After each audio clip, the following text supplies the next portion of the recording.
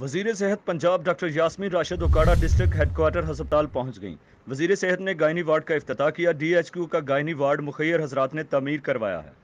اکاڑا سے ہمارے bureau chief عامر چودھری کی رپورٹ کے مطابق وزیر صحت Punjab doctor Yasmin Rashid district head quarter ہسپتال اکاڑا پہنچ گئیں، جہاں پر مخیر حضرات کی جانب سے تعمیر کیے گئے گائنی وارڈ کا افتتاح کیا گیا۔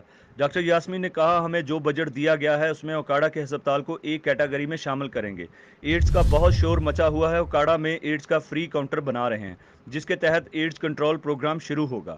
جب سے ہم آئے ہیں، گیارہ ہزار ڈاکٹرز بھرتی کیے ہیں، آپریشن کی سہولت میں کوئی کمی نہ ہے۔ مزید انہوں نے کہا، مریض کو لاہور ریفر نہیں ہونا چاہیے، اوکاڑا ڈی ایچ کیو کے سٹاف کو ملی ہوں۔ بہت محنتی سٹاف ہے نرسوں کی بہت مشکور ہوں، ان کے بغیر محکمہ صحت بیکار ہے۔ ہنگامی بنیادوں پہ تین ہزار نرسوں کو بھی بھرتی کر رہے ہیں۔ وزیر اعظم عمران خان کے دل میں غریبوں کے لیے بہت درد دل ہے۔ وزیر اعظم خود اکثر ہسپتال میں وزٹ کے لیے نکل جاتے ہیں اور دی گئی سہولتوں کو چیک کرتے رہتے ہیں۔ اکاڑا کے مخیر حضرات اور ڈپٹی کمشنر مریم خان کے مشکور ہیں، جنہوں نے باسٹھ لاکھ روپے ڈونیٹ کیے۔